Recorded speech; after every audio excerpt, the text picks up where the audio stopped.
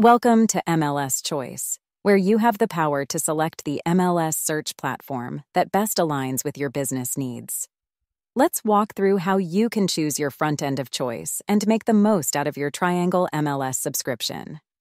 First, you'll need to start by accessing your Triangle MLS dashboard by visiting my.trianglemls.com and clicking on View Account in order to access your Triangle MLS portal.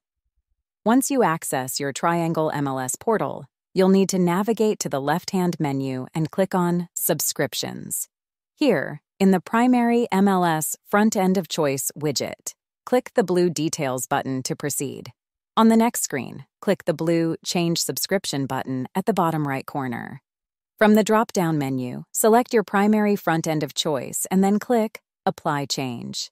If you wish to add a second front end of choice, Click on Subscription Actions in the upper right corner, then select Add New Subscription.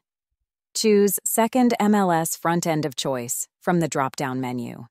Keep in mind, selecting additional front ends comes with an extra cost of $75 per quarter per additional choice, except for brokers in charge, appraisers in charge, and office assistants.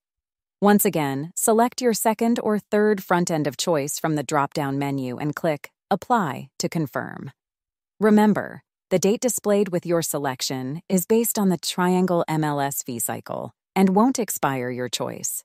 This will update with each billing quarter.